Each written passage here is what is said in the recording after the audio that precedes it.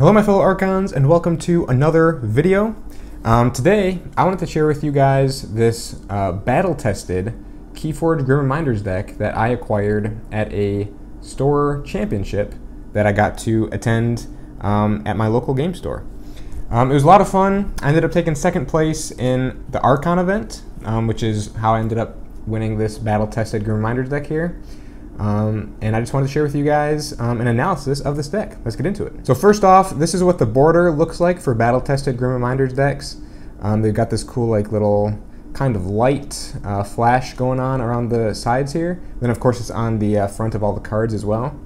And then of course there's the keyword card. And then each of the decks also comes with these two like kind of like promo cards. Not promo cards, um, but they just kind of like go over this one has an ad on the back, which is kind of funny. Dream Trace game tokens, and then it kind of goes over what a, a battle-tested deck is. Another ad. All right, so then here's what the um, exclusive visual treatment looks like on the cards themselves. Uh, starting off with the Unfathomable, we have a Trawler, Tendrils from Beyond, Echoing Death Knell, Echo Guardian, Circle Speak, Beam of Forgetting, Stir Crazy with a capture, Kiri Giltspine, Dredge, Unsettling Ancestry, Sybil Waymare, and Plunder.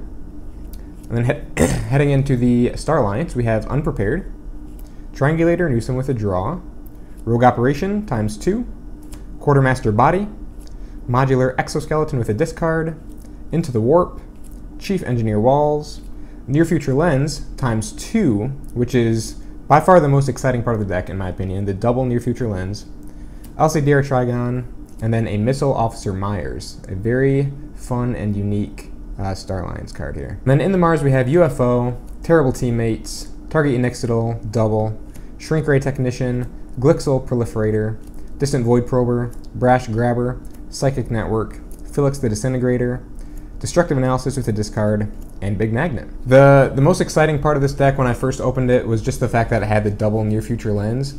I mean, just getting, just having the ability to potentially play two extra cards each and every turn is so amazing. No, no matter what house they belong to. Um, obviously, you play with the top card of your deck revealed, so your opponent always knows what's going into your hand, and they can see the top card of your deck and everything. Um, but it goes really well um, with cards like the Rogue Operation, so you can see what you might be discarding with Rogue Operation, um, at least the, the, the, first card that you discard.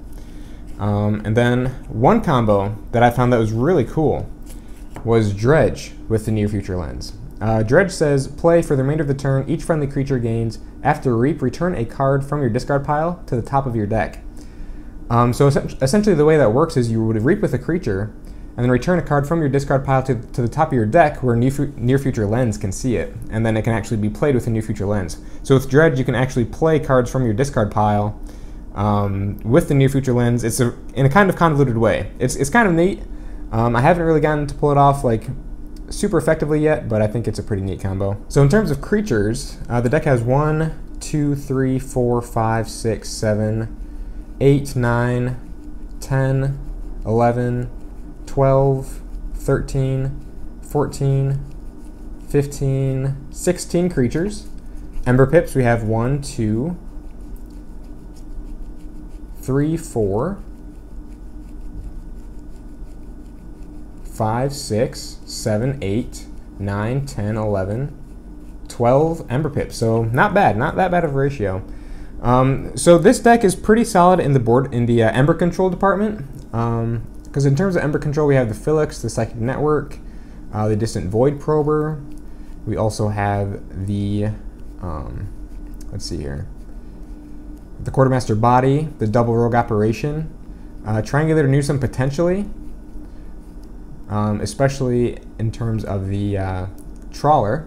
There's another, some more Ember Control, more Ember Control Circle Speak, and then Trawler, Triangulator Newsom. If you can reap and move all that Ember into your pool, that would be super ideal. Very cool combo. It's the board control where this deck tends to fall short.